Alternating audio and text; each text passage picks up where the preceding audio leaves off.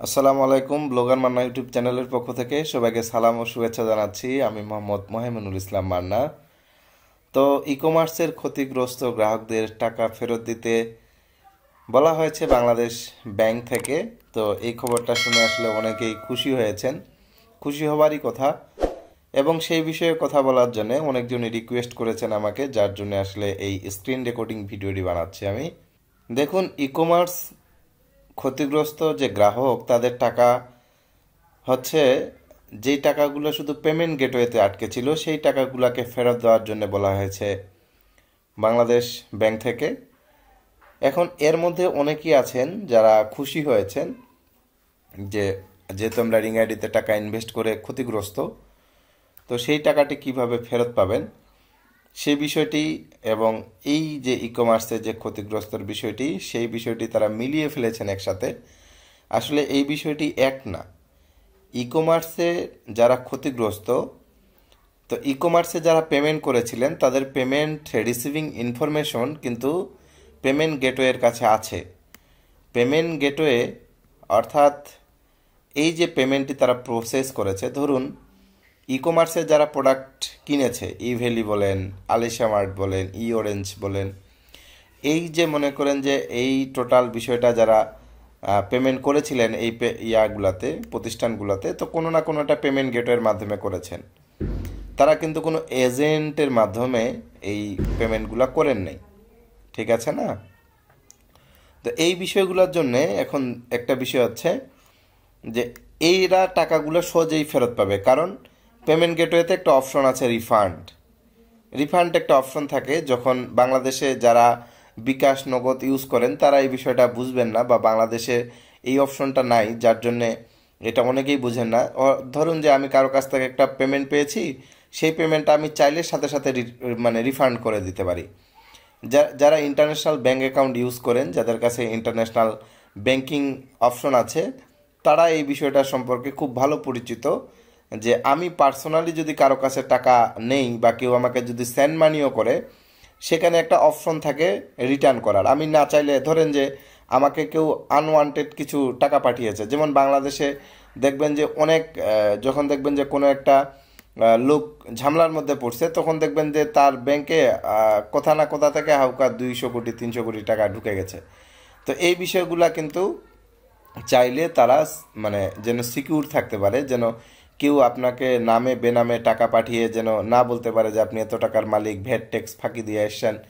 এই বিষয়গুলোর যেন না পড়েন।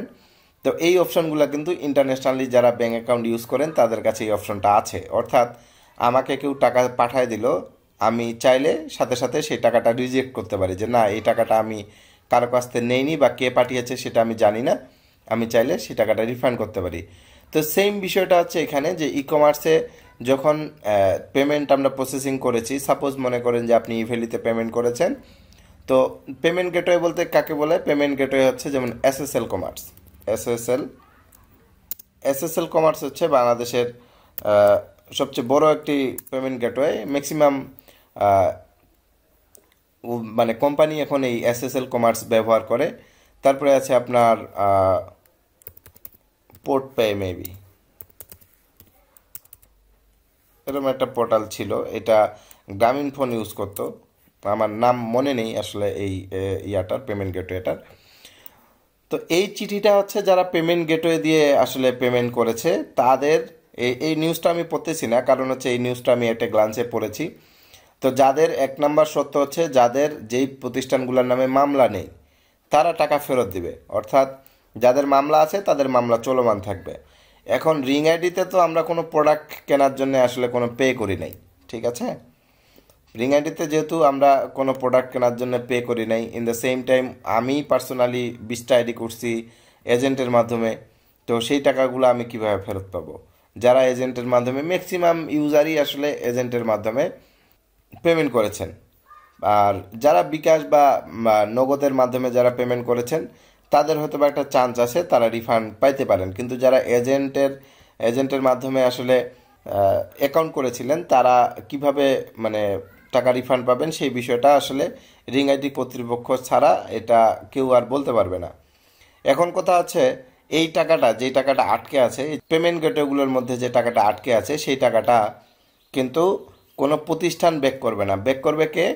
সরাসরি ই কমার্সের যে পেমেন্ট গেটওয়ে অ্যাসোসিয়েশন, অর্থাৎ এই যে আপনার এখানে একটা দেখেন কেন্দ্রীয় ব্যাংকের পেমেন্ট, এই যে পেমেন্ট সিস্টেম বিভাগের ব্যবস্থাপনা পরিচালক মেজবাউল হক, এরা হচ্ছে এই টাকাটা মানে রিফান্ড করবে ইউজারকে সরাসরি। এই টাকাটা কিন্তু কোনো কোম্পানিকে তারা আর দিবে না। ধরেন যে ইভেলির টাকা ছিল এতগুলা, ইভেলি, ইভেলিকে কিন্তু টাকাগুলো দিবে না। তারা পেমেন্ট গেটওয়ে যে ব্যবস্থাপনা পরিচালক, যারা এটা মনিটরিং করে, তারাই ওই পেমেন্টগুলা যেই যেখান থেকে পেমেন্ট এসেছে, সেখানে অটো রিফান্ড হয়ে যাবে।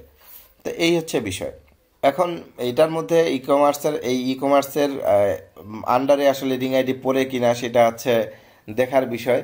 কারণ রিং আইডির হচ্ছে ব্যাঙ্ক অ্যাকাউন্ট ফ্রিজ করা হয়েছে। ব্যাঙ্ক অ্যাকাউন্টে যে টাকাটা ছিল, সেই টাকাটা আটকানো হয়েছে। কিন্তু এখানে ব্যাঙ্ক অ্যাকাউন্টে টাকা থাকা আলাদা জিনিস আর পেমেন্ট গেটওয়ের কাছে টাকা থাকা আলাদা জিনিস। ঠিক আছে? পেমেন্ট গেটওয়ের কাছে টাকা থাকা মানে হচ্ছে এই যে এস এস এল কমার্সের কাছে টাকাটা আছে। আর ব্যাংকে টাকা থাকা মানে কোনো একটা ব্যাংক অ্যাকাউন্টে টাকাটা আছে। তো এই হচ্ছে বিষয়। তো যারা টাকা ফেরত পাবেন, তারা তো অটো রিফান্ড পাই যাবেন। আর রিং আইডিতে আসলে আপনি কীভাবে টাকা ফেরত পাবেন কি না সে বিষয়টা আসলে রিং আইডি কর্তৃপক্ষ ছাড়া আর কেউ বলতে পারবে না। কারণ আপনি রিং আইডিতে যে টাকাটা পে করেছিলেন, সেটা কোনো প্রোডাক্টের এগেনস্টে আপনি পে করেন নাই।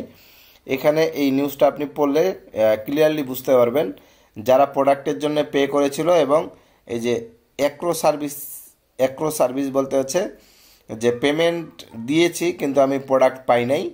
এইরকম বিষয়টার জন্য আসলে এই অ্যাক্রো সিস্টেম তো অ্যাক্রো সিস্টেমে যে টাকাটা আটকে ছিল তারা তো জানে যে গ্রাহক সে প্রোডাক্টটা পায় নাই।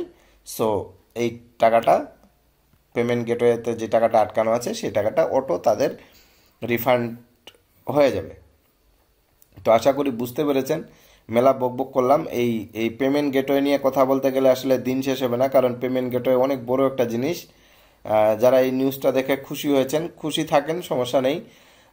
ইনশাল্লাহ আমরাও মনে করেন আশাবাদী, যদি রিং আইডি তাদের টাকা রিফান্ড দিক বা রিং আইডি তাদের কার্যক্রম পরিচালনা করুক বা না করুক, সেটা রিং আইডির একান্ত ব্যক্তিগত ব্যাপার। আর যেহেতু আমরা গ্রাহক, আমরা যেন ক্ষতিগ্রস্ত না হই, এটাই হচ্ছে আমাদের আশা, আকাঙ্ক্ষা। আমরা চেয়েছিলাম সেখান থেকে একটা ভালো প্রফিট করতে, যার জন্য আসলে ইনভেস্ট করা টাকা পয়সা সেখানে। এখন যদি ইনভেস্ট করার পর আমরা দেখি যে না, আমরা বেনিফিটেড না ইন দ্য সেম টাইম আমরা লুজার তো বিষয়টা একটু অন্য রকম হয়ে যায় আর কি। তো আশা করি রিং আইডি কর্তৃপক্ষের যে বিষয়টা, সেটা হচ্ছে যে রিং আইডি যদি আসলেই তাদের এই ঝামেলাগুলো মিটিয়ে মানে মার্কেটে ঘুরে দাঁড়াতে পারে, তাহলে অবভিয়াসলি একটা ভালো কিছু আশা করা যায়। আর যদি টাকা রিফান্ডই করতে হয় মানে রিং আইডিকে যদি টাকা রিফান্ডই করতে হয়, তাহলে এটা রিং আইডির উপরে খুব বাজে একটা ইফেক্ট পড়বে আর কি।